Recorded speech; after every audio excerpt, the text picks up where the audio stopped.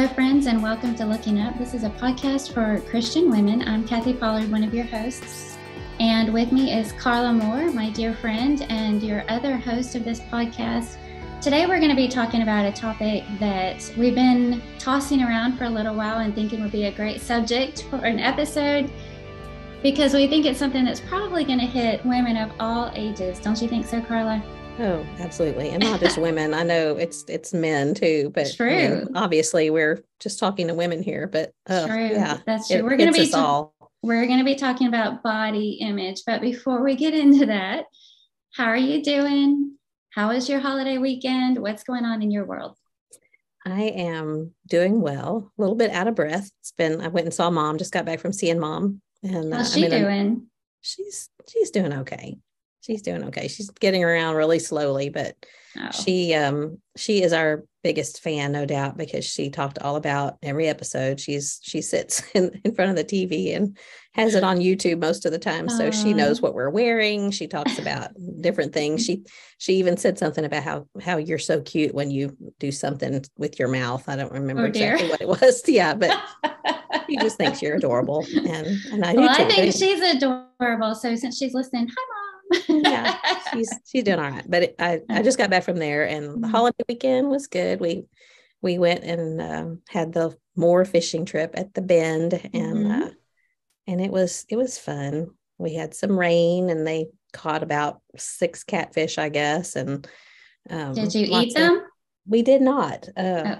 There weren't quite enough for the number of people that we had, and so okay. I don't know how, but Jordan ended up with them. So I guess he'll fry them up and do some family fish fry at some point. But um, but it was good. We got home Sunday afternoon and Monday we we did some yard work and kind of just chilled because that was the first time we were home in two and a half weeks, really. Mm-hmm.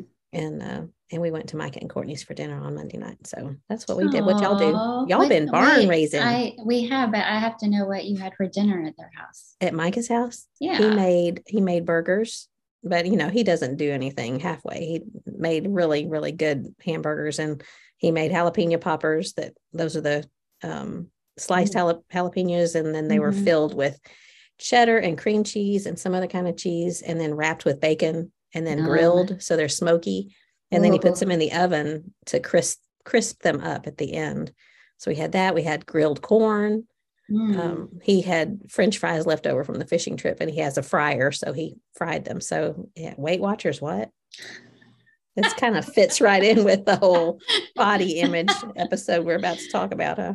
Oh, well, that's nice. Yeah, it was fun. He's so, very talented in in multiple ways. He really is. He mm is. And most of those showed up after he left home, or maybe they were dormant while he was home. Mm-hmm. But um, but it is fun watching to see the different things that he does. All he them. builds things and he cooks and yeah, he hmm. does. He Very does. Nice. Yeah. So how's the barn coming? it looks amazing.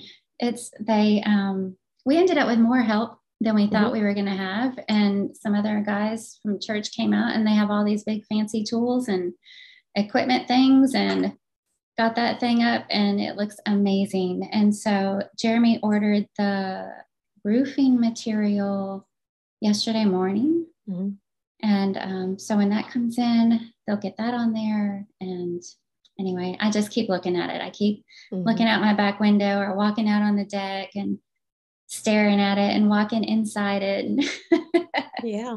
Well, it smells good because it has that fresh cut fresh wood, wood, smell. I love that mm-hmm. smell. Yeah. Yeah. So. so. what color are you painting it?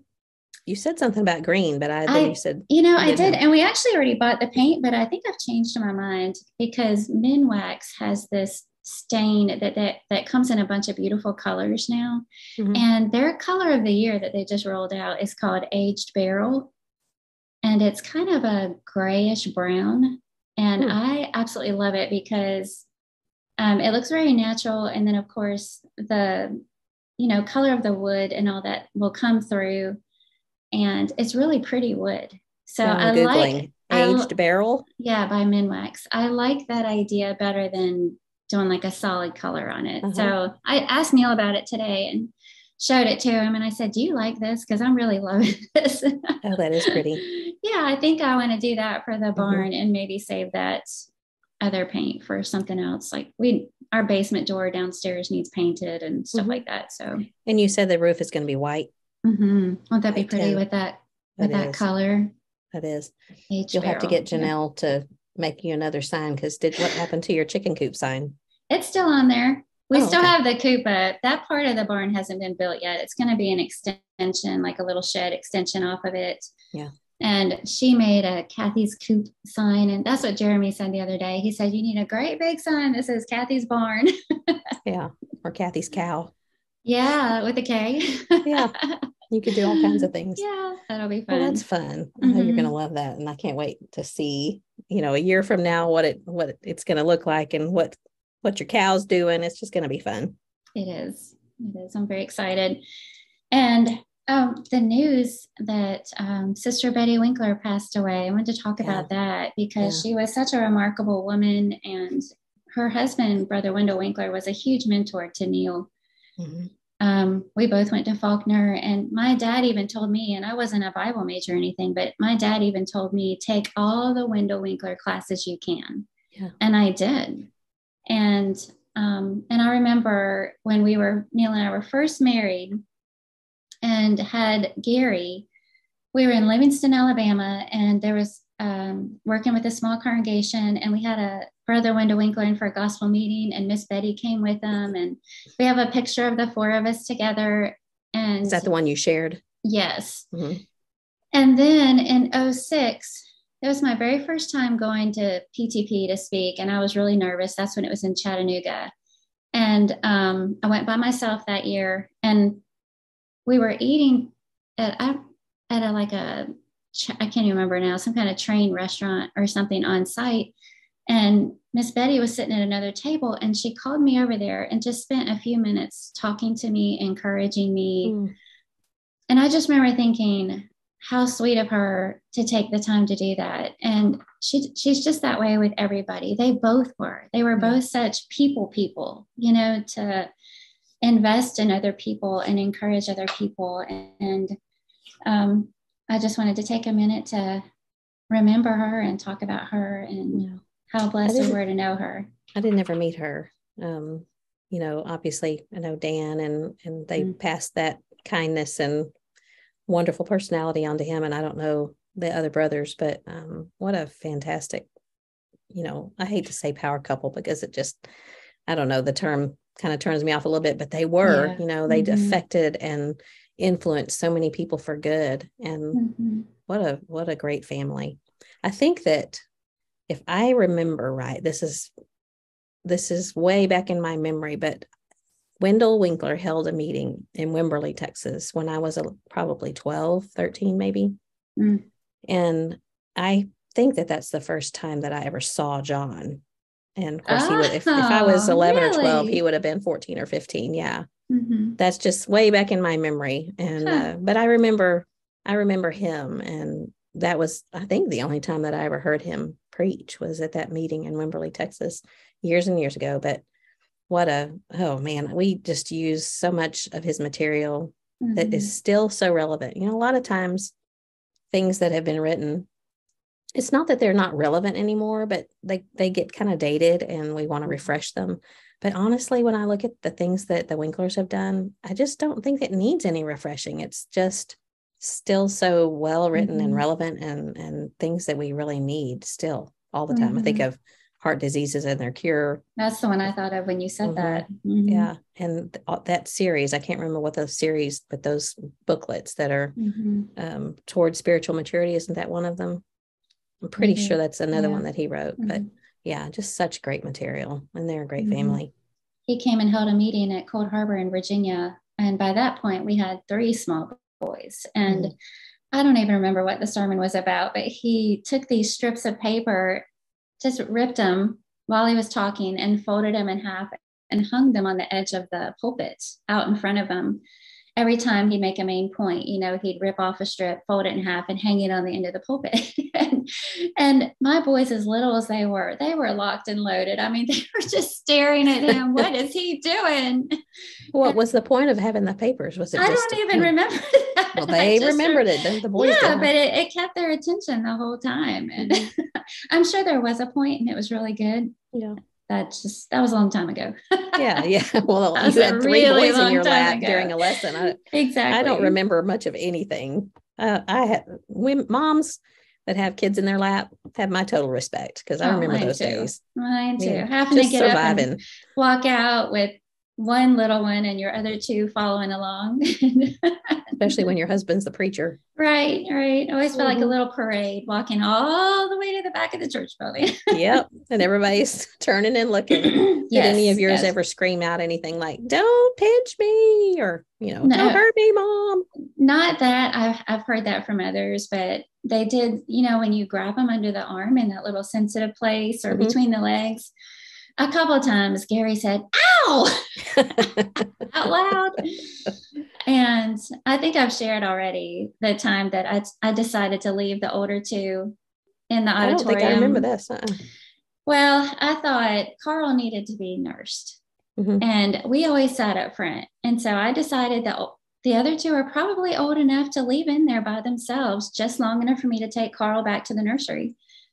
And so instead of parading all of them back there. I just got up, walked out with Carl, sat in the rocking chair in the nursery. And, you know, we have the little speaker in there where you can hear the sermon. And mm-hmm. Neil's preaching along. And then all of a sudden he just stops and I hear him say, Isn't that right, boys? oh. I know. And I was like, oh! so I had to hurry up and stop nursing and grab him and go back in. I was mortified. I was like, well, obviously it was too early. too what's, early. What's the age difference? I forget. Gary is how much older than Carl? There's then Carl, there's two years and two months between Gary and Dale, and then 2 mm-hmm. years and seven. So Gary would have been between, about four or five at that time. And yes. Dale only yeah. about two. Well, you're yeah. brave. Well, it's not like they were totally isolated. Yeah. There were people sitting right behind them that I guess I was hoping would thump them on the head or something yeah. if they misbehaved. Yeah. You know, that reminds me, I don't know if I told you about this, but it Equipped, um, Emily Hatfield was giving her lesson mm-hmm. one of the days, and it happened to be the same time that Robert was giving his lesson across the hall. Mm-hmm. And so she brought her two little kiddos, adorable little kiddos, yes, and kind of put them against the wall in a couple of chairs in the row in front of me while she was giving her lesson. And I think maybe the woman that was sitting next to them knew her, but mm-hmm. I wasn't real sure because she said something to her about they should be okay. They've got their books and their colors and and uh and I didn't think anything of it because you know preachers' wives and moms that speak mm-hmm. you you just have to do what you have to do. And it was it was just really really so sweet to watch them. They were they were so good you know they were just coloring. They weren't silent they're kids so they mm-hmm. they weren't like sitting there little angels and nobody expected them to do that. I don't mean that they weren't. Emily if you listen to this they were little angels but you know they i'm just saying that they weren't silent. They caught my right. attention a few times because i just thought they were so cute and I couldn't see everything that they were doing because they were kind of on the floor and in their chairs and they were a little bit diagonal from me, but they were on the row in front of me. But at some point during Emily's lesson, did I tell you about this? Mm-hmm. At, at, some point during her lesson, she got kind of choked up about something. Mm-hmm. And when she did, both of the kids immediately stood up and locked their eyes on her. Oh. And they were so in tune with her her voice and what mm-hmm. she was mm-hmm. saying. You know, they didn't really know, they hadn't been paying attention to what she was saying before. But when they heard that emotion, oh. I got tears in my eyes and I was all choked up just How watching them. But, not? Yeah. I know, but as soon as she, you know, whatever point mm-hmm. she was making, as soon as she got past that and her voice regained control, they just sat back down they were fine you know they weren't they weren't worried anymore but it was just so neat to see how in tune to her they were and it mm-hmm. was just just the neatest thing So sweet. So yeah. sweet. Those were hard days. I remember. Yes, I do remember. I remember Neil always saying, How was my lesson? And I was like, What lesson? Yeah. I didn't get to hear any of it. Yeah. I'm yeah. sure it was wonderful. mm-hmm. Maybe ask somebody else that heard it. I, honestly, one of our one of our biggest conflicts when the boys were little was I, I didn't hear anything. Like you said, I didn't hear the lesson. I'm just trying to keep up. And I only had two because Micah came along he's like eight years younger than Jordan and six years younger than than Jake. Mm-hmm. So I basically just had two. But, but as soon as the, the lesson's over, you know, John went to the back and I I didn't. I would stay in the pew with him, but I always wanted him to come get one of the boys at least mm-hmm. and and keep up with them so I could talk to people, you know, but he we've talked a lot about this. This will not surprise him because he he feels bad about it, but he was he just felt responsible to make sure he connected with everyone and mm-hmm. shook hands and stuff. And I'm still, you know, juggling the, a two year old and a baby. And so, yeah, that probably is another whole topic for, for us to talk about someday. I was just huh? thinking we could just spend the rest of the time sharing stories right mm-hmm. now, because, but maybe we should. Maybe we might we need to do that think about a, them before we talk about them. Huh? that's true. That's true. Uh, it showed up in my memories either yesterday or today. I can't remember, but 10 years ago today, I shared something that you posted hmm. 10, 10 years ago. Back when we were just in our 30s. Yes. Or something. you may have, no, you wouldn't have been in your 30s. I wasn't for sure. That's, that's not anyway. the point. The point, okay, sorry. That's not the point. 10 years ago today, you posted, um, my wonderful friend Alice said this today about our friendship. We are alike in all the important ways and different in all the enhancing ways. I thought mm-hmm. that was really neat. And I hope all of you also have friends like that. Yeah. And that just struck me because 10 years ago, I could have never guessed that we'd be where we are today. And that's mm-hmm. exactly how I feel about you. Yeah. And I thank God for that, that we are alike in all the important ways and different in all the enhancing ways. And it just yeah. struck me. I thought, I'm going to copy that down and I'm going to share that. Yeah. Thank God for that. Yeah. That's Alice Stone. She's one of my best friends. She lives in um, Lubbock now, but they, they lived in, she was born and raised. No, she wasn't born there, but she's, she spent a lot of time in Alaska. And so from Alaska to Lubbock, the, oh. the beauty I can't say is in Lubbock that is in Alaska, That's but they live close to the kids difference. now. Well, yeah. that's what matters. but when you you had brought up the topic, and we may still do this, I'm sure we will. Women that we've learned from. She is one of the, mm-hmm. she's a woman that I have learned from a lot of different things. So I'll save that mm-hmm. for when we do that topic. Okay. Okay. Yeah. I did want to talk about uh, the conversion story that Matt Wallen mm-hmm. shared mm-hmm. with several people. Yeah. Um, what a cool story. And I know you've already heard about it too, mm-hmm. but um, he shared the story about this guy named Kith, K I T H who's from Uganda but currently living on the island of Cyprus. And he's a second year student in college. So apparently, he started studying the Bible on his own on his phone. He didn't have a hard copy of the Bible. He started reading it on his phone and for several months was just studying and on his own came to realize that he needed to obey the gospel mm-hmm. and what all that involved. Mm-hmm. Well, there is not a Lord's Church on Cyprus. There's not a body of Christians there, and yeah. and so then um, and apparently in that time also he made use of several resources like Apologetics Press, GBN, House to House, World Video Bible School, and mm-hmm. all those materials. He was reading all of that. Well, Matt Wallen um, had some friends who were teaching in Israel Mm-hmm. And their names were Rod and Victoria Selman. Well, mm-hmm. they flew to Cyprus and spent a few days with kids studying with him some more. And ended up baptizing him in the Mediterranean Sea on the mm-hmm. east side of the island. And um, Matt Wallen added that he was baptized just two and a half miles south of the ancient city of Salamis, which is one of the first stops on the missionary journey of Paul and Barnabas mentioned in Acts 13 5. Yeah. So, how cool is that? Well, and then they stayed with him a little bit and studied with him some more before they had to go back. And Kith is already studying with um, another friend of his. You know, hopefully the Lord's church will grow there and mm-hmm. he won't be the only Christian on the island. but in the meantime, Matt Wallen said that he suggested that Kith find an established congregation to at least worship with online. Yeah. Um, and get their bulletin so he can feel connected to a body of believers and stuff like that. So he recommended Lehman Avenue. Oh, cool. Church of Christ, where where we worship. And um, Matt called Hiram to tell him about it. And then Hiram told Matt that we are all going to be in Cyprus in October.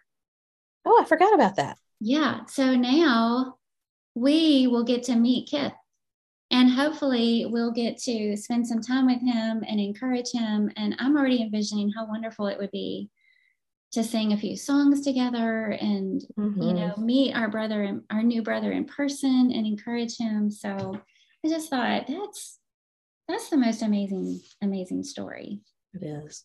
Mm-hmm. It is. And I what I one of the things I love the most about it is how many people worked together to find exactly you know a way for him to be baptized and mm-hmm. and to be encouraged and I I really honestly truly can't think of anybody better than Rod Selman to go encourage this guy because he's a new Christian and um I, he sent me some pictures actually and mm-hmm. I imagine he won't mind if we share them but it's just such such a great a great story. I, I think that it would be a neat thing for World Video Bible School to do to have a new series. I'm just going to throw this out there, and I've mentioned it, but I don't know if it's ever gotten high enough to make a, a ripple, but to have a series called Conversion Stories.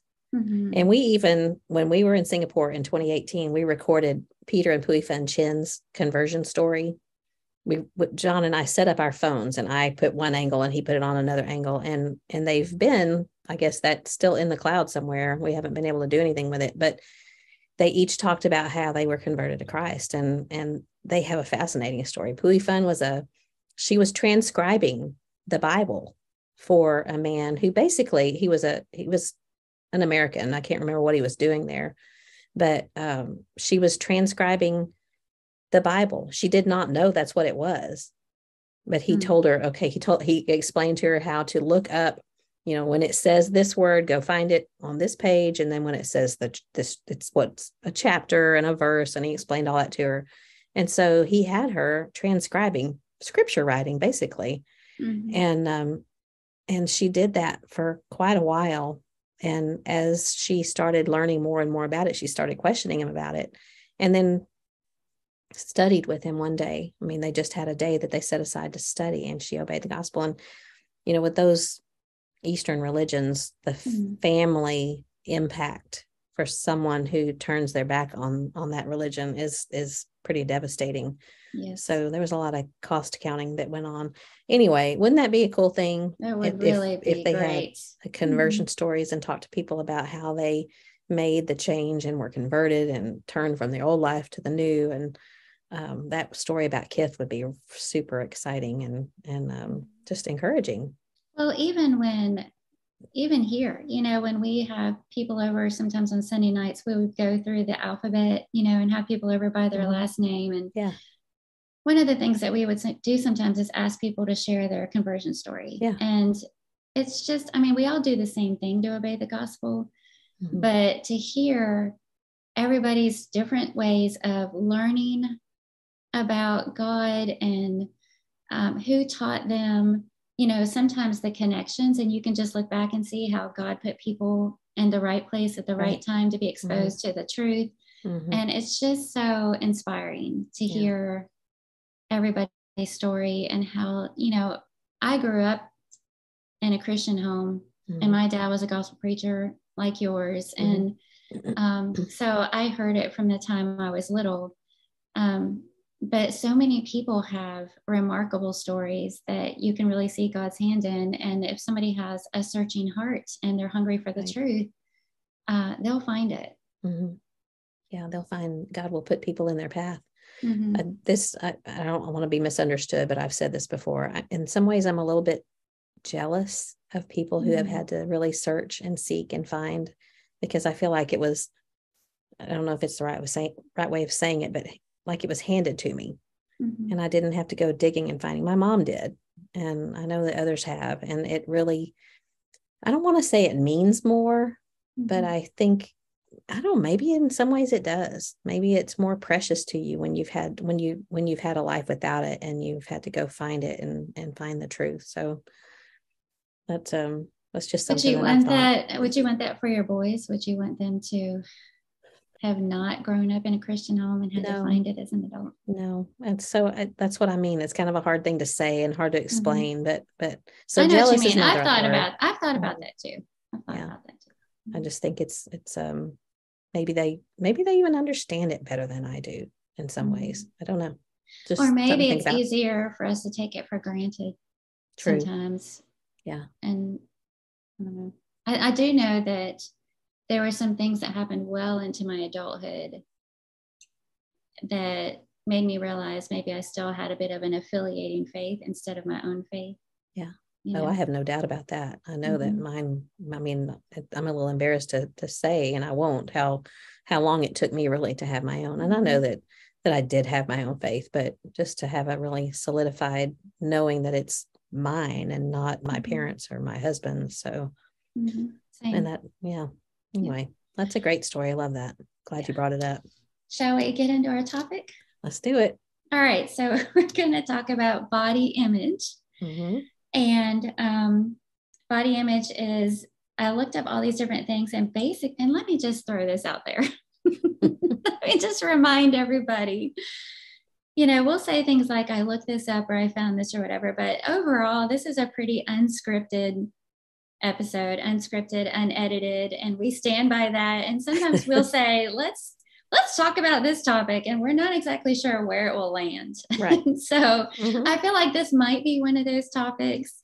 100% 100%, 100% know that we could have some great conversation about it and talk about it for a long time which we won't. Um, but maybe. but who knows where it will land. But yeah. body image is basically how you feel about the way you look. Mm-hmm. To simplify it and it could be positive or negative. and as I was thinking about, you know, maybe the direction we might want to carry this topic, I started thinking, well, what's the difference between that and vanity? Are we talking about, you know, you care too much about, about the way you look, and so it's really vanity? And and I don't know because I looked at vanity, and that's excessive pride in one's appearance. Mm-hmm. Um, so I think it it could cross over into vanity if that's your if that becomes your focus. But really body image is just how you feel about the way you look. And it affects all women of all ages. I was even surprised to read that girls as young as eight years old yeah. can start having negative self-talk about their own bodies where do you eight think that comes from old. oh I'm sure it comes from everything that we're inundated with. I mean, our culture is saturated with how we look and, you know, um, the perfect image, and, you know, everything has to be just so and just right and just perfect. And mm-hmm. I mean, it could, if we're going to be honest, it could come from influence in the home yeah. and how much we as moms talk about it, you know, but eight years old.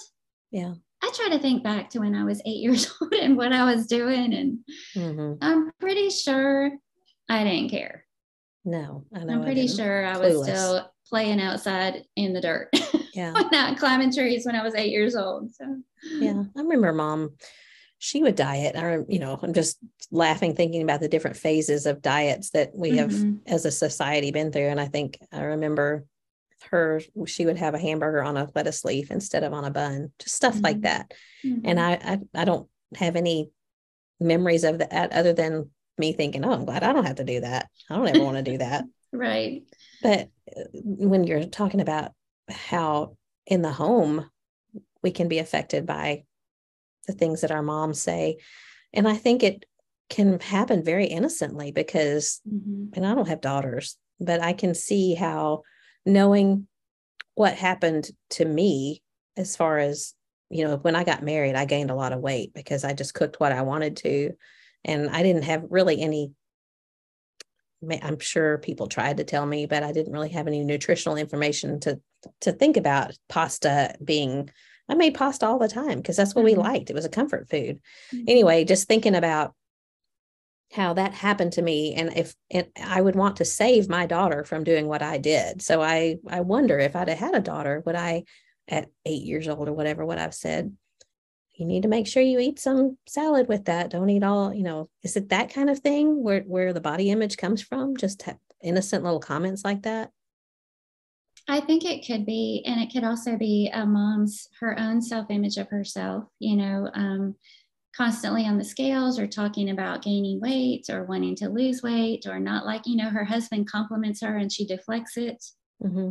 you know um, i know i've done that a lot and uh, you know not that we intend to do that but they're just exposed in every direction to so many things that have to do with body image and it was mm-hmm. really interesting to me i heard a conversation the other day that was talking about ai mm-hmm. and how you know, it used to be that you could tell somebody those girls that you're seeing in that magazine have been airbrushed. You know, yeah. nobody looks like that in real life.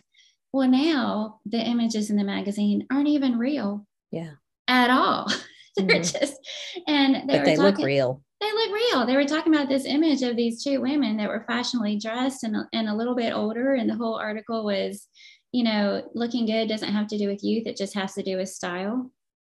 And then come to find out the entire image was artificially artificial intelligence created, mm-hmm. however you word that process. Generated. Yeah. yeah, it wasn't even real. And mm-hmm. so, and by the way, a little bit off topic here, but I also learned from that conversation that um, conversations can be generated that never happened. Mm-hmm that there was a conversation that two people had that was put on the air and those two people have never actually talked or met in real life. Yeah it's but you wouldn't know scary. that you know? So it's so easy to be deceived but do we know that when we're seeing those images and those people and those models and those fashion and those influencers that are curated just right you know um, it's just everywhere. And what a what a focus and emphasis is being put on that. But it might have body image might have to be you don't like the weight that you are, you don't like how short you are, you don't like a physical feature about your body, which your nose looked different. I know my entire life I was self conscious about my teeth. And we didn't have a lot of money when I was growing up. And I never had all my friends got braces, but I didn't get braces. Mm-hmm. And um, and so there were many pictures of me as a kid where I would not smile with my mouth open. you know, I did that whole awkward. From what age you know, did, were you self conscious about that?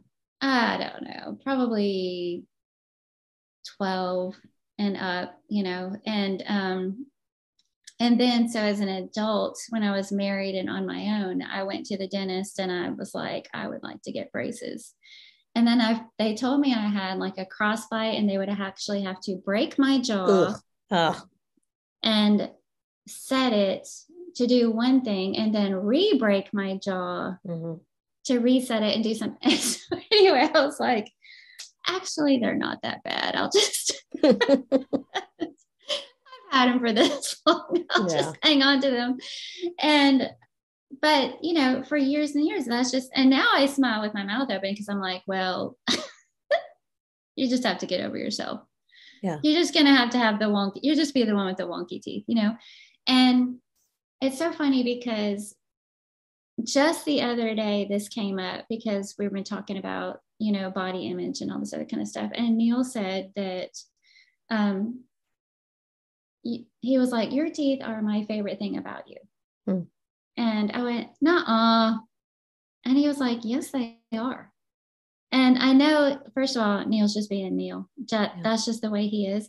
But my whole point in sharing that is we think of something as just this huge thing, this huge deal. And then other people just see it as that's what makes you unique. Mm-hmm. You know, that's just you, that's just who you are. And have you ever been one age and thought, man, I wish I would lose 10 pounds, or I wish I didn't have these crow's feet, or I wish I didn't have these age spots, or, you know, and then years down the road, you look back at that same picture. You know, we were looking at some old photographs yesterday when I was trying to find that picture of Betty Winkler. Mm-hmm. And I ran across a picture of me from 20 years ago. and I looked at that picture and I thought, I remember how I felt in that picture. Yeah. And I remember thinking, I wish this and I wish that and I wish, you know, and now I'm looking at it going, girl, you look so young. Yeah, I've seen You're the gifs that say, I so wish I was as fat as the first time I thought I was fat. exactly. Look at that youthful skin. Mhm. Yeah. So better better reconcile it now because it's probably going to get worse from here. Is that the that'll cheer you up? yeah.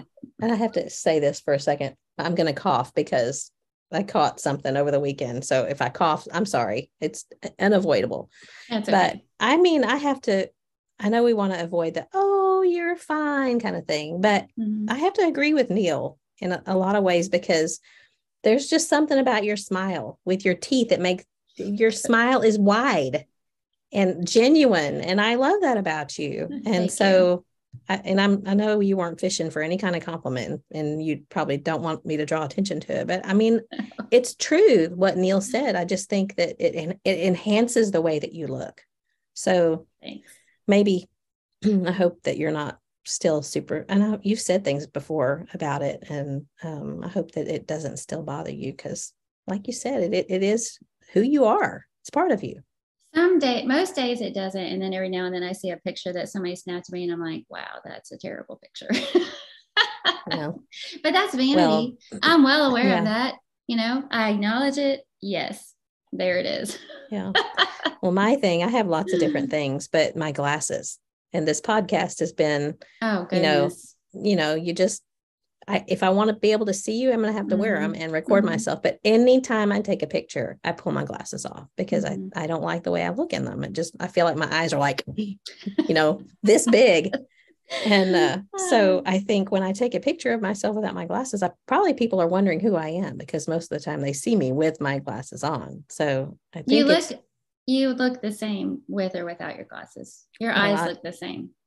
okay. I'll trust you, but I still, when I see a picture of myself in my glasses, and sometimes I just do it anyway, but I prefer to have them off. But there's You just, you have to trust me because in the last episode you said that I was a friend that would tell you the truth when you asked me a question. mhm. hey, I trust you, but I still probably will take my glasses off when I take That's picture. right. That's right. but there's Uh, just all kinds of things that you know my my story when we got married in 1986 i put on i don't know i probably put on 100 pounds from the time that we got married until i don't know 10 years later but uh, the majority of it came right after we got married mhm. like I said, just because I didn't, I didn't know that what I, I knew I was eating too much because it was just, I liked to cook and I knew what he liked and I knew what I liked. And I didn't ever think about trying to, to be more cautious. I'd never had a problem with it. I just and never, you I was, having babies. yeah, yeah, true. And so you put a little bit on and it's harder to take it off. Mhm. And, um, so I stayed that way until 2011. So from 86 to 2011. And then I I got on Weight Watchers and I lost about 70 pounds that year. But it wasn't nearly as much about what um what I looked like. I say that it, it did have something to do with what I looked like, but I I just felt rotten and Mhm. wanted to feel better. But you know, body image it has a lot to do with that. And I think that after some of it came off, my I realized how much it had to do with um a poor self-image Mhm. and a lack of self-confidence. And so I think that body image is tied up in that It a is. lot. But Mhm. I've heard a lot of people say that it, it's not. So one of the things that I was thinking about when we were preparing for this is that not everyone thinks the same. Mhm. You know, not everyone thinks the same. Some people are completely happy with being a different shape, you know, as what I'm I have to be because I'm never going to be a model shape, but I want to be in a model shape. So not everybody Mhm. thinks the same, you know? Mhm. Does that make Mhm. sense? It does. It makes sense. And you know, you the whole body image tied to self-esteem, I see that as a very natural connection. Um, but I also agree with you. I know a lot of people that, you know, they have a really, really great, confident um, self esteem, self image. It has nothing to do with how they look. And you know, they, to me, that's something to strive for. And mm-hmm. That's a level of maturity almost, or even a spiritual maturity. And, you know, I've had little pep talks with myself through the years. Good grief. In the grand scheme of things, this doesn't even matter. Right. It's especially not going to matter in heaven. It's not going to help me go to heaven or get anybody else there. Have these little pep talks, you know, and I'm just going to not let it bother me and not think about it. And, and then I still struggle with it. So, yeah. I think what really bugs me the most is how much brain space and how mm-hmm. much mental energy and emotional energy energy goes into thinking about how I look. Mm-hmm.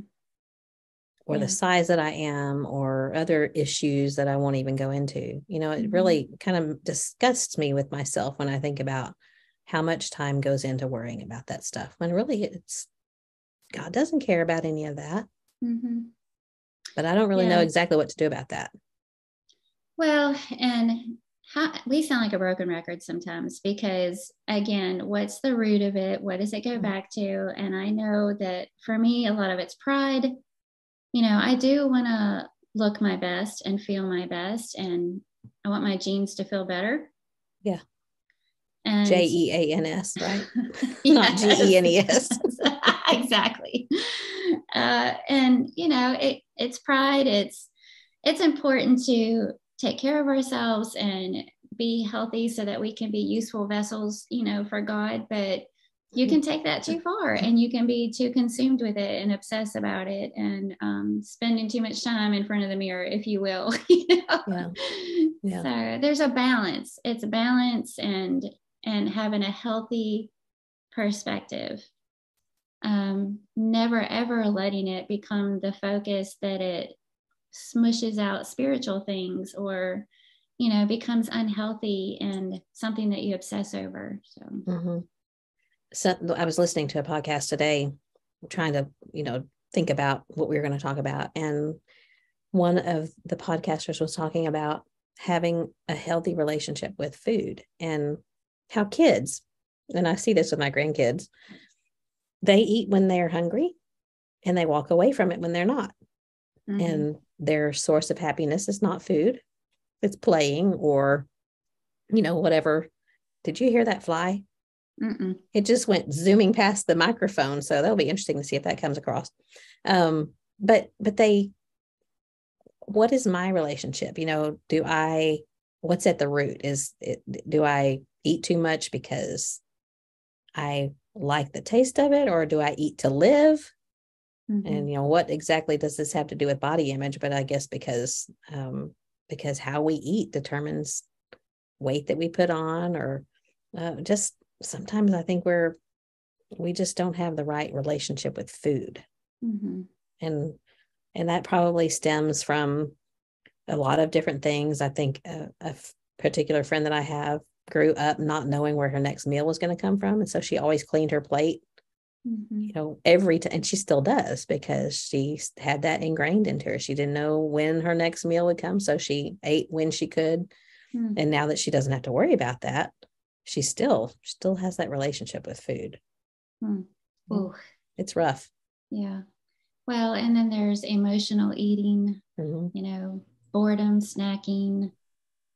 Uh, I that's a hard one for me because I love food as in i love to read cookbooks i love to bake i love to try new recipes you know i love to watch cooking shows and i like talking about food let's mm-hmm. do a mm-hmm. podcast about food you're a foodie yeah and so and also i think that the bible has a lot to say about food you know and i know that there's the argument that food is just fuel and it's just a matter of survival and you just eat what you need but I don't I don't know if I would go that far. I just think that the Bible talks about the land flowing with milk and honey. And, you know, and I haven't really done a study on it, but I know that there are several references where food is held up in like a, a bless, a light of blessing and a sure. good thing and a reward, you know, not, not that the way we do it, here's a slice of cake as a reward, mm-hmm. but um, obviously you can take that too far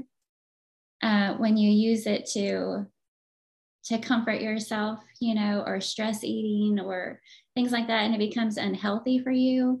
Yeah. So it's it's just that word balance again. You know, you have to have a healthy perspective about it, a balanced perspective about it. God wouldn't have made flavors and colorful yeah. foods and things mm-hmm. if we mm-hmm. weren't meant to enjoy it. But mm-hmm. like you said, balance in all things. And we just get so off balance. Uh-huh. Mm-hmm. And yeah. it's a discipline. Mm-hmm. Yeah. Well, like have a little serving of ice cream. What's the mm-hmm. real serving supposed to be? Three tablespoons. Whose real serving is that? so you know how the carton it'll say one serving has so many calories, and yeah. then you find out the serving is like a fourth of a cup or something, yeah. and yeah, most get... people put three cups in their bowl, and yeah. you yeah. So you know you can enjoy it but don't eat the whole carton. And and maybe that's just something good to know about yourself. I have a friend who at times goes without eating sugar altogether because they know once they start they can't stop. Yeah. They just once they get a taste of sugar they just eat and eat and eat and eat and eat all mm. the cookies. And yeah. knowing that about you know knowing that about yourself sorry. might mean you have to put some stricter things into place or whatever but yeah it's a it's self-control balance healthy perspective i was also thinking about comparison too mm-hmm. because that it's been said that comparison is the thief of joy mm-hmm. and i think that's so true mm-hmm. because wow with ai going on now uh, we I, I, hope, and I don't know how, but I hope there's some kind of regulation on that because the more I hear about it, the scareder I get of it but mm-hmm. just um if like i mean I, i'll just be honest with you I, when i compare myself with you which i know i shouldn't but your size i think you're just the cutest perfect little size and i'm sure other people do as well but i can get dissatisfied and i've learned not to do that because it just like i said it, it, comparison is a thief of joy and and learning to be content with the way god made me and yet knowing that I have some control over uh, and maybe that's another thing we need to talk about in this in this um, episode is is control you know having self control and that how that's a, a discipline. But um, sometimes food is the only thing that someone can control in their life. When everything else is out of control they can control what they're putting in their mouth. And so maybe they overdo it or they underdo it just because they can control that. But back to comparison just thinking about um, we just we have to be super cautious that we don't get caught up in that and and think of um, of our friends. Well I, if i were her size i would be happy. Mm-hmm. you know because you have your own things going on in your mm-hmm. mind and in in your life. And so i it's not fair for me to say to put that on you that you should be happy the way you are because to me you're better you you look better than me or whatever whoever's maybe saying or thinking things like that mm-hmm. because i just think that the devil can get wrapped up in comparisons too and make us dissatisfied back to our topic of dissatisfaction but yes. um you know just being super super cautious not to be caught up in in comparing ourselves with someone else I jotted that down too because I thought what feeds this and what makes it worse. And comparison was the first thing that popped into my mind. And um, I don't know why we do that. I don't, yeah.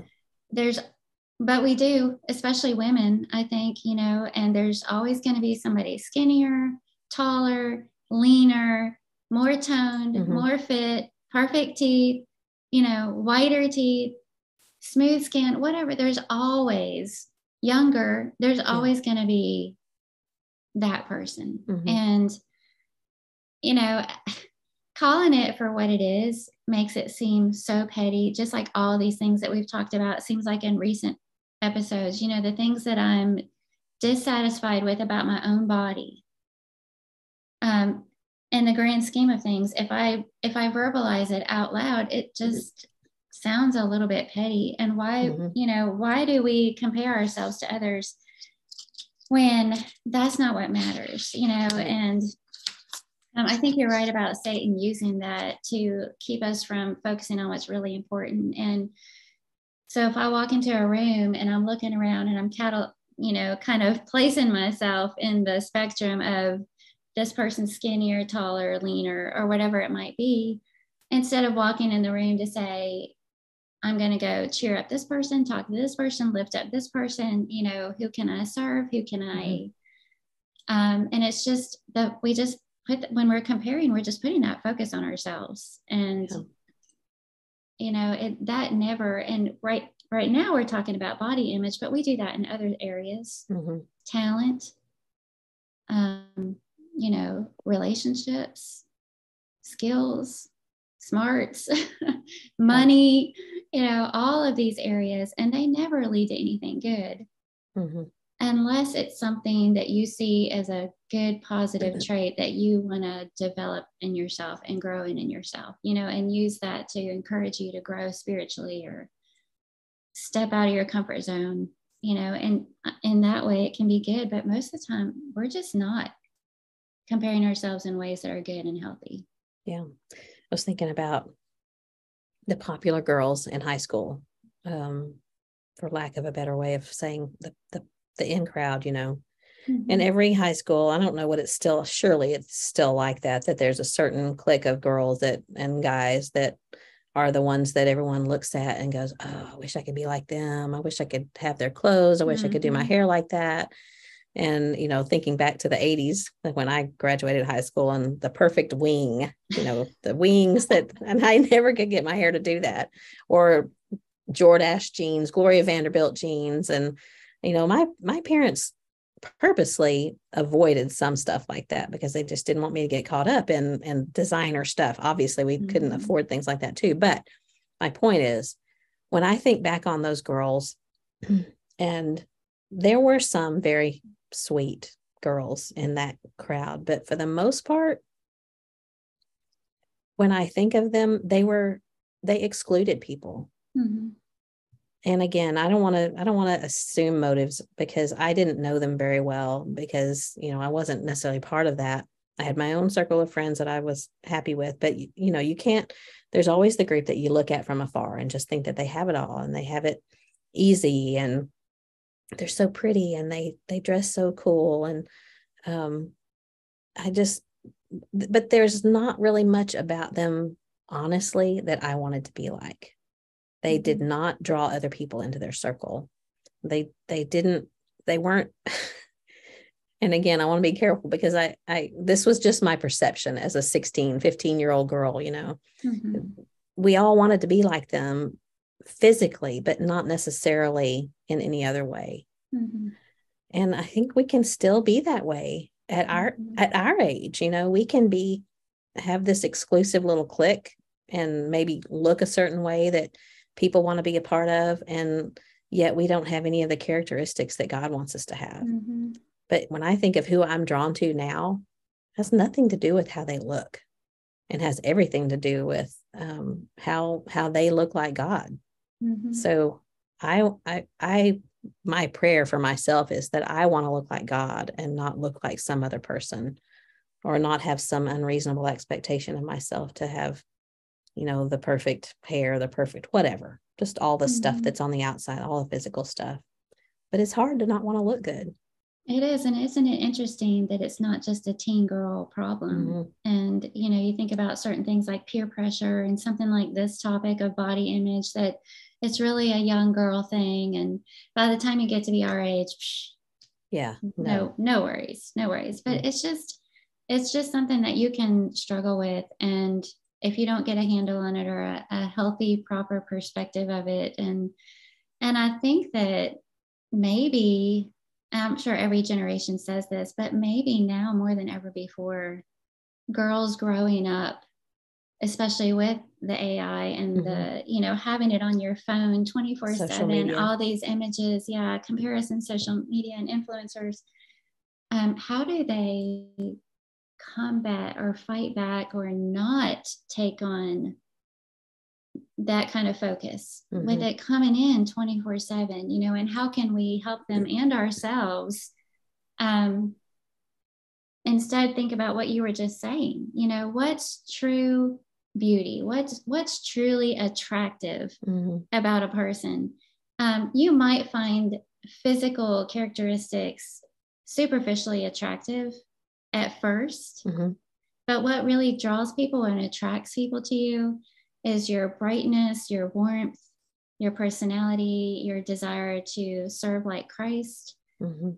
um, your lack of arrogance. You know, these are the your um, when you have an interest in other people, when you're not focused on yourself, these are the things that make people want to be around you and find attractive about you. And so, how can we um, help turn the tide and, and focus on those things with our young girls, with some of us older girls?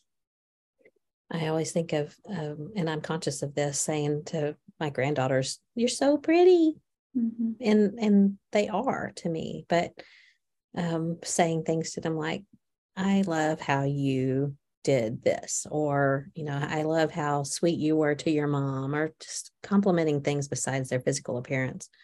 Even Mhm. though you know, I don't think it's wrong to do that. I just think that they need to hear other things from us besides, "You look so cute." Mhm. but um, there's something else that I've thought of that I want to be careful in how I say too. It's it's important to me that John likes what he looks likes what he sees when he looks at me. And that's Mhm. always been important to me. And and he's always made me feel very confident that he likes what he sees when he looks at me. Even when I was at my heaviest, um, it you know it didn't affect our relationship i think that now that i have lost some he i know that he, he likes what he sees but um but i and i don't even want to say lose weight and you'll feel better but i do think that taking control of your health trying to take control of your health can be so helpful and so um just good for you in so many different ways. Mhm. But here's where I'm going with this. Let's veered off topic for a second. okay, you're I allowed. think I- when I think of what men see when they look at pornography, it's not real. Mm-mm. But especially for young men that get caught up in that, and it's such a trap and it's such a it's just a killer a killer of Mhm. so many so many things in the in the young man's life and i know it can happen to, to women as well but but i've just thought this so many times how when when men start falling into that trap of pornography and they're looking at women that are not real they're looking at even if women are you know not ai if they're real women but yet they're doctored up or they're Mhm. airbrushed or they're surgically altered or um, you know they're just all these things that feed into what's so unhealthy to for a for a man to see and then i think i guess this is more cautionary for men but if if they get caught up in pornography are they going to be are they going to have difficulty or or i don't even know how to say it but when they when they are married to a real woman who mm-hmm. has the gained a little bit of weight because of having their child or because they've been trying to feed them and and you know nourish her own husband or just life because we don't none of us have that perfect body and if someone and i say perfect loosely because who gets to decide what a perfect body is? And it's just it's not it's not realistic you know the barbie body. But um I just I just think we we have so many different shapes and sizes and bumps and lumps and and wrinkles. And and when we change the way we look at things the things we look at change. So if we can look at them in a favorable light thinking about you know yeah that lump is there because i had a baby Mhm. or that wrinkle is it's a laugh line and again you know i'm guilty of trying to cover things up and it's not necessarily cover things up i guess my hair i'm covering up the gray in my hair but um, it's just a matter of you know wanting to look nice i guess Mhm. but that balance of not overdoing the wanting to look nice with with not putting in the time and the work with my relationship with god and and how i appeal to others on that basis rather than the way i look Mhm. The um, the wife of the man who's caught up in pornography feels like she can't ever compete with that mm-hmm. and feels less than desirable. But the truth of the matter is, the guy that's even viewing pornography doesn't want that woman. Right. And he's using her for instant gratification or sexual satisfaction or whatever, but he doesn't want that woman. He doesn't want a relationship with that woman. And if he were honest with himself, there are things about his real life women that makes her beautiful because of everything that they've experienced together right. childbearing you know scars from the kitchen fire or you know whatever it might be it's, it's the life that they've done together right and i'm kind of glad you brought that up because you know the question i asked mm-hmm. earlier is how can we combat all these images that are coming into our women and then you brought up pornography and I know that same question has been asked from that perspective. Well, how can a young man stay pure when they're bombarded with all of these images of women and it comes to them? They don't even have to go looking for it, it comes to them. Okay. But we know you froze for a minute. Sorry. Keep going.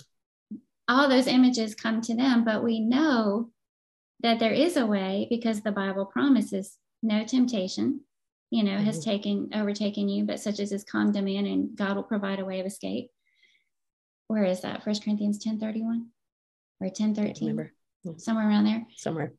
And and and we know it's possible it's hard but we know it's possible and even we had pointed out that um, that question in the bible how can a young man keep his way pure you know and so I'm glad you brought that up because as overwhelmingly difficult as that would seem, we know it's possible. Mm-hmm. And it's a matter of um, focus and determination. And you probably, you know, a guy probably will see some images, but it'll be up to him to look away and not go back to it.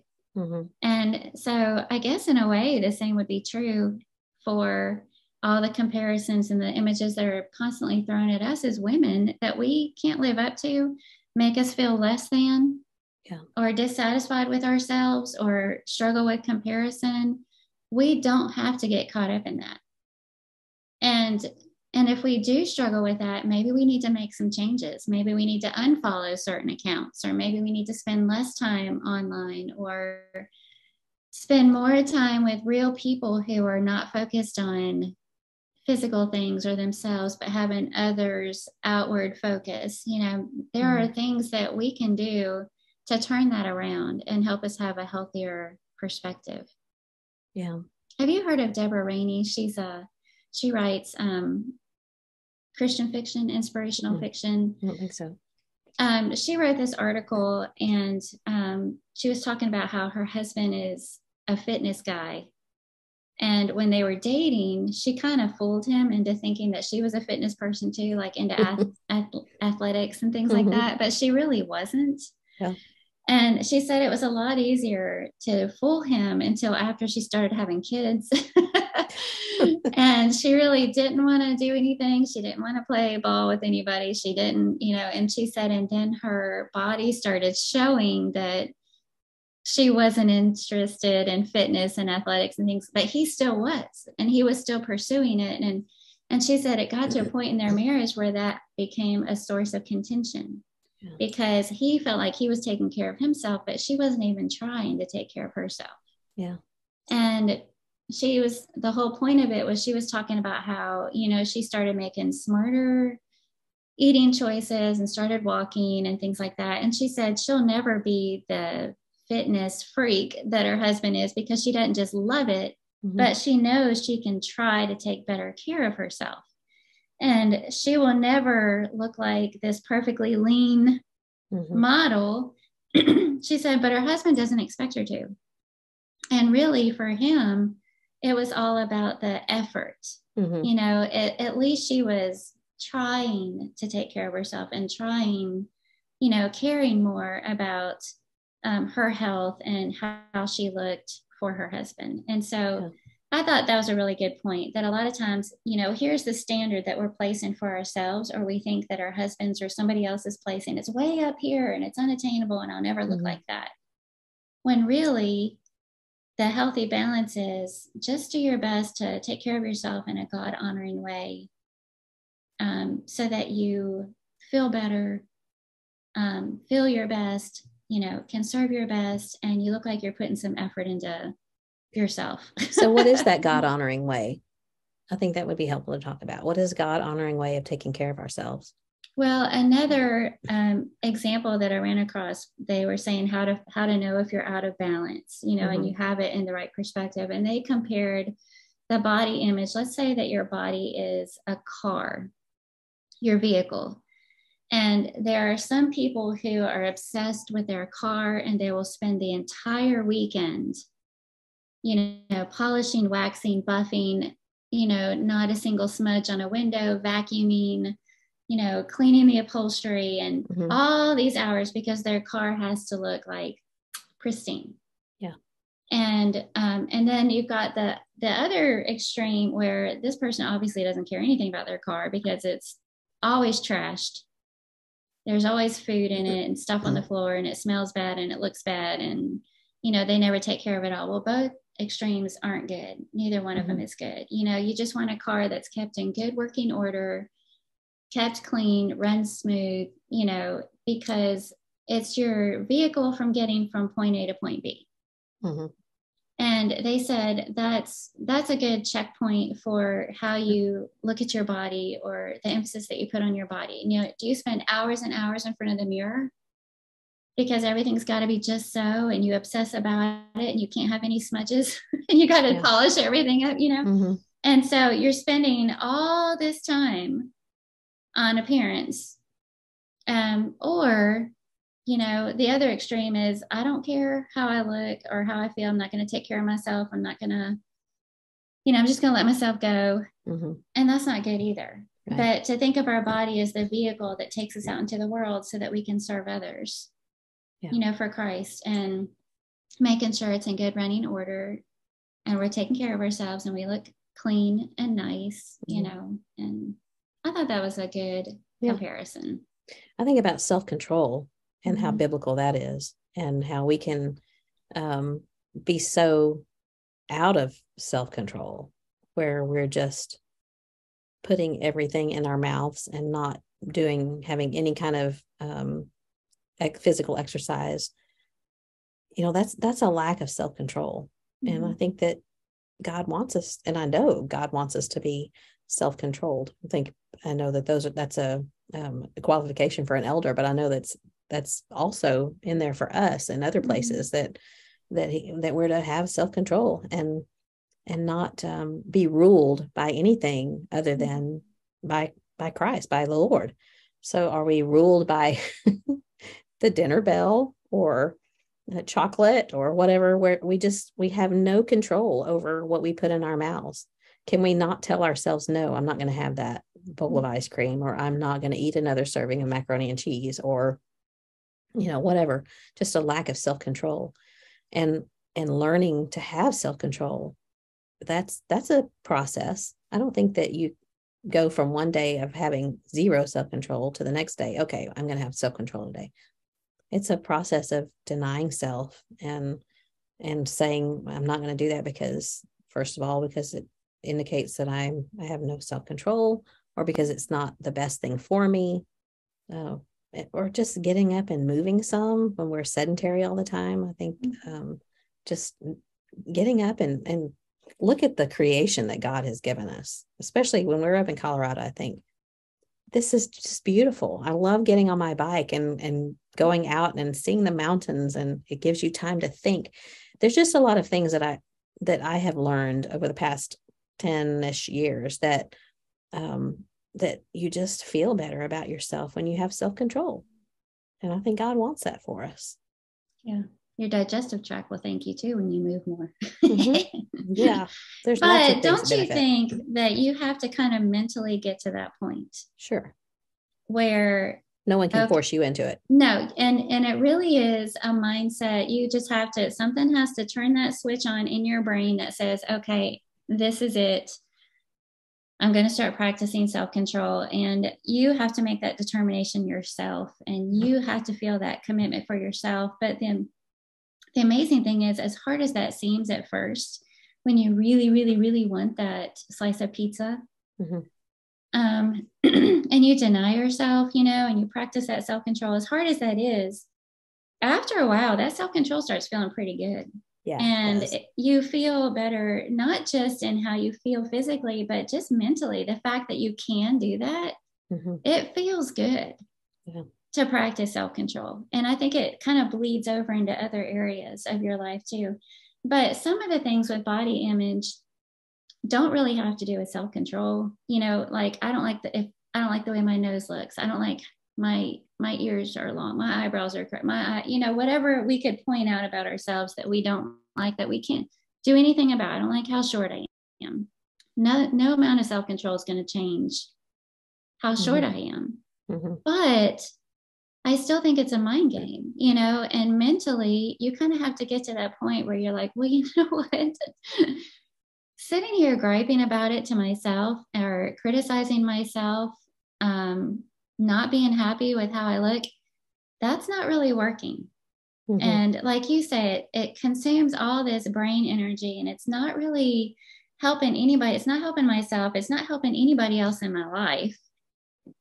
And so, in a way, you kind of have to get to that mindset there too, and mm-hmm. just determine I'm just, I'm just going to rejoice in the way God made me, and that in that aspect, and how mm-hmm. my nose is shaped, and you know how short I am, or whatever it might be, and I'm just going to be thankful that I'm alive. And when I when I struggle with those insecurities or things that I don't like about myself, maybe I need to have a little bit of a mind shift and find something to thank God for or go do something for somebody else, you know. Yeah. And so Yeah, we get so internal and we're just mm-hmm. self-centered, honestly. We just are yeah.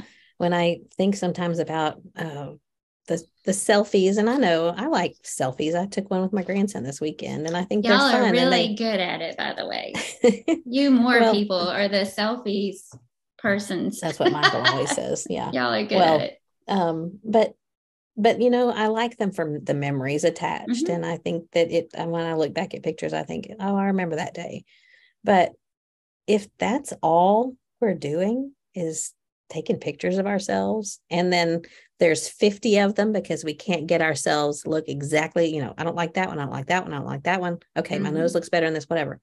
That's an that's excessive.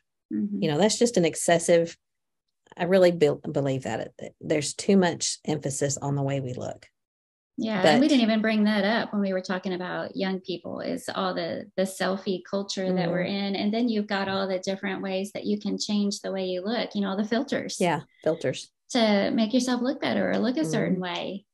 No yeah. wonder. But I was when you were just talking, I was thinking about God said we're fearfully and wonderfully made. Uh-huh, I read that. Do we really? Do we really believe that? You know, mm-hmm. are we?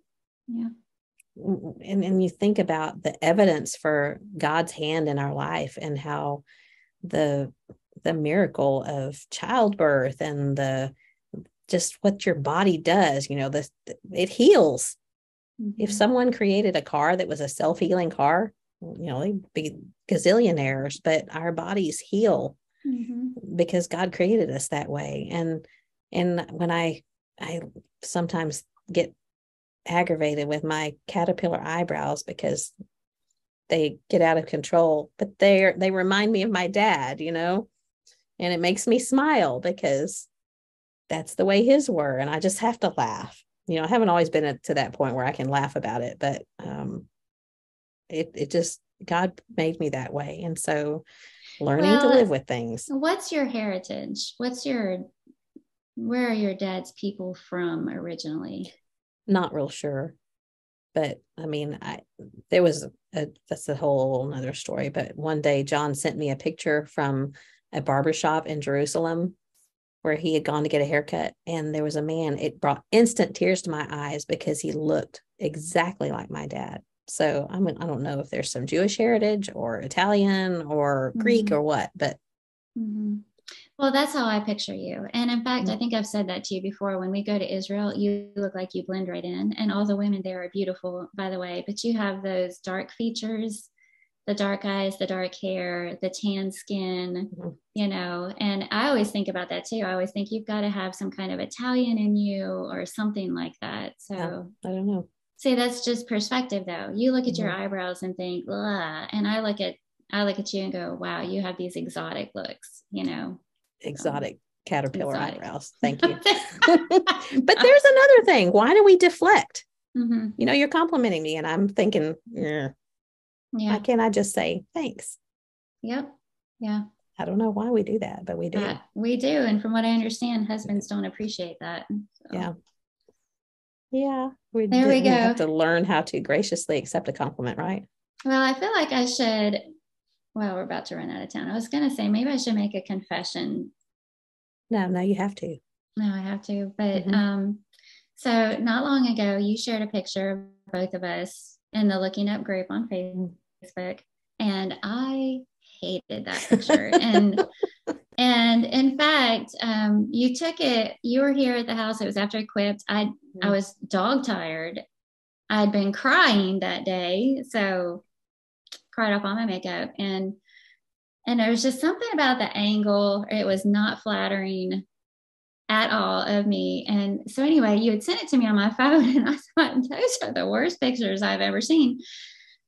But I didn't say, I almost said to you, please do not share those with anybody. But I thought those are so bad. She would never share those with anybody. Well, lo and behold, they show up on social media. Mm-hmm. And I, my first thought was, Carla Moore, I'm going to kill you, you know? and you said, and I quote, I look like a man with hair, long hair. I did and I was in the grocery store and I literally busted out laughing because I thought it was ridiculous. You did not look like a man with long hair. Uh, so anyway, I asked you to take it down, mm-hmm. and um, that's you know that that's vanity, and that's all it is. And all these people had already clicked like on the pictures and said these nice little things about our friendship and how cute we were and blah blah blah. And there I am feeling all petty, and I'm like, and I think you even said something about that, but people are commenting, and I'm thinking, I don't care. Pull that picture down. mm-hmm. And you did because you're a good friend. But, um, you know, that's. So you want me to share it again? I do not. Okay. No, I'm confessing, but I'm not saying I want you to share it again. but that's what I'm talking about. This whole, yeah. you know, there's a point when it crosses over into um, vanity. Yeah. And that's just different from, you know, taking care of yourself and having a good image and feeling good about yourself and feeling good in your own skin. And vanity is when you're so worried about what everybody else might think about something that's been put out there. And I've had a million horrible pictures taken of me and shared because I am that person that has to have a million pictures taken to find one good one. I am not photogenic. And most of the time, I can't say anything to them because I'm not close to them. But if it's you or my sister, you know, I'm like, don't you be posting pictures that don't bring, no. that don't put me in a good light. mm-hmm. but you know, that was that was bad. That was bad. I'm sure the picture was bad, or you wanted me to take no, it. No, me wanting you to take it. I'm sure you were disappointed in me. no, no, I wasn't. I, I thought I did not think it was a bad picture, but there again, you know, I can if it was on the the shoe was on the other foot, I can totally understand. I would be like, ugh, don't don't share that. And we do have kind of an unwritten rule that we don't share without checking. And I I don't know what I thought. I just thought it was a cute picture. And so mm-hmm. anyway. You do not have to defend yourself. I'm not, I'm not. I guess I'm just saying I thought it was cute. But anyway, um, so actionable items like before we finish mm-hmm. up, I think that we need to so what can we do about it? Mm-hmm. What can mm-hmm. we do to improve this area of our lives? Well, um, so if we struggle with negative body image, really, um, is what we're talking about. And so some of the things that I've sort of found and thought about was number one, find the source of your standard. And it kind of goes back to what you were thinking about. What are you comparing yourself to mm-hmm. exactly? Mm-hmm. You know, and and why? Yeah. And why are you allowing that into your life if it's causing you to feel that way? Um, do so we want people to admire us? That's kind of what, what I wondered. Are we wanting people to admire us? And if so, why? And mm-hmm. what do we want to them to admire uh, the way we look or the way we are. Exactly. Yeah. Do we want people to be attracted to us because we make them feel good about themselves? Exactly. Or because of how we look? You know, so that's just introspection right there. Find if you're mm-hmm. really struggling with this, when we are struggling with this, we need to think about what is my standard here mm-hmm. and what am I using for that? Um, is it all of these influences and things coming in from the world and things that I'm seeing, this unattainable idea of perfection? Um, and then number two, focus instead on making others feel great about themselves. Wow, that's great advice. And because take the focus off yourself. Yeah, and doesn't that always work? That's God's way, mm-hmm. and it always, always works. And yeah. just get over yourself. Don't be consumed about it. And you know, and I'm not saying that there aren't times to do something about it, like you said. Sometimes it's a matter of self control and making some changes and going for a walk or whatever. But when we're really just struggling with negative body image and we, it's turned into a bad attitude. Mm-hmm. Um, focus on making others feel great about themselves, compliment other people, remind other people of their value in the Lord. Mm-hmm. Um, and because, like we were saying a minute ago, a woman who serves, a woman who loves, she's truly attractive. Yeah. And that's not why we do it, but focusing on others, that's that's real beauty. And thinking about who who do you really admire? Who is someone that you just really admire and you love and you think I want to be like her when I grow mm-hmm. up? Mm-hmm. And is it does it have anything to do with physical beauty? And I want to say Probably 99% not. of the time it's going to be someone that maybe not isn't very attractive, you know? Yeah. But Probably that's didn't have to do anything to do with their outfit. Yeah. and their wardrobe. exactly. Where they shop. So why like are we so focused? You know, why is it that we're so inward about wanting to be someone that people admire for the way we look or the way we dress or whatever, mm-hmm. instead of wanting to be, I don't want to say wanting to be admired because of, of who we are, but I think if you know, we all want to be the kind of person that that shows God, that reflects God. So mm-hmm. is that, you know, when they look at me, are they seeing God? Or are they looking at just my perfect hair? mm-hmm. That's not what we want. Right. Yeah. Good point. And then number three, when you struggle with negative body self talk. So, you know, sometimes we're our worst inner critic and um, find out what else is going on because a lot of times there's something else that's at mm-hmm. the root of the problem and it could be relationship issues it could be spiritual problems you know sometimes that's just a symptom yeah of something else that's going on so maybe you've neglected to fill your mind with god's word mm. and you know and so your focus has been put on other things. Maybe you need to express more gratitude and you haven't been doing that. Um, so sometimes there's just something else going on so, yeah. What do you have? Nothing. I just wanted you to have all the answers. No. I mean i just had a little input here and there but i did think about i i tried have tried intermittent fasting for a while and i know you are have too. And I have read that whenever you struggle during the time during your fasting period, if you're if you start thinking about food, to pray. Mm-hmm. And I thought that's a, such a great way of deflecting what I'm really desiring to something that I really should desire. Mm-hmm. Because you know, it's embarrassing to think about how much time we spend thinking about food and you know what we're going to make tomorrow, we're going to eat tomorrow. What you know, uh, everything we do socially is wrapped around food.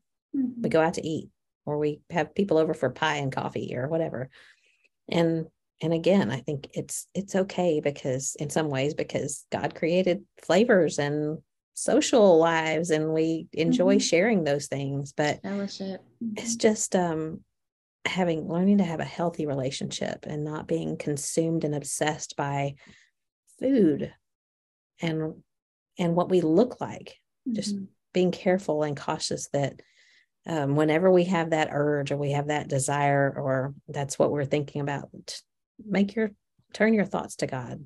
Pray mm-hmm. and thank or thank god for even for that sense of hunger. Thank you that i'm hungry and i you know i'm healthy enough to want food. There's a lot of things i think we can do to change our thoughts. Mm-hmm. yes. Yeah yeah good thoughts to end on mm-hmm. and um, so that was body image we weren't sure where we would land but it was an interesting conversation yeah. and so our random question that we'll close out with is um, one that you suggested, which I loved. So it was mm-hmm. either share a special memory of your grandmother or something that you've learned from your grandmother. Yeah. Mm-hmm. Well, we ha- we'll have to do this again, uh, part two, because I have two grandmothers. But my mom's mom, my grandma, was, if you knew her, her, her name was Lima, and people called her Leapin' Lima because she mm-hmm. was always going places and she was always busy and doing things. And things that I remember about her, um, I'd spend the night with her as a little girl, and at night before she went to sleep, she would read her Bible and she would read it out loud, but not like super out loud. She was just reading to keep her focus. And so you could hear her reading just under her breath, reading her Bible. Hmm. And she was one that, um, when we'd finish with breakfast, if there was anything left over, she would put it on the back of the stove and she would always say, in case some little man comes by because she grew up in the depression. Oh, and that's wow. what they did, you know, in case somebody comes by and is hungry, I'm going to have this How here on the back of the stove. I know it was just uh, that always just made such an impression on me because something that we would not think anything, oh, half a piece of bacon. We, I mean, hmm. let's be real. Who's going to have I half mean, a piece of bacon? Okay. So nobody a little bit of that out. scrambled eggs or something. She would put it on the back of the stove and keep it there.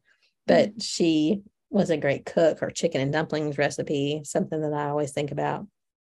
And she was one at 80 some odd years old. She would tell me, I've got to go take some food to this little old lady and whatever uh, across the street. And I think, Grandma, you are a little old lady. But I love my grandma. She she was um grandma to me, to my cousin Marcy, who came quite a few years after the rest of us cousins. She called her Gammy but um, she had she had Alzheimer's for a long, long time before she died, and didn't really know us. But she she made a huge impact impact on me. I, I mean, that, that's just the tip of my fingernail of the things that she taught me. But I remember her for her kind and generous spirit, and for reading her Bible at night, and and she would go up to little boys at, at the church building, and she might say to one of them, "When are we going to get married?" It was hilarious because this little boy would be looking at her like, I don't want to marry you. I'm not marrying you. And she would laugh and she'd go on to the next little boy and say, When are we going to get married? So that was my grandma, my mom's mom. I'd love to hear. You? We should we should do an episode about that because I'd yeah. love to hear more about it. Mm-hmm. And I know you were close to your grandmother too. Yes, her name was Emma Bell. She was exactly 50 years older than me, and um, I learned to sing alto from her. Mm and I would sit next to her and worship. And I just, I can still hear her alto voice and I can still hear all the songs that we sang when I was growing up. And and some of those songs that we still sing today, I hear my grandma's alto. And mm.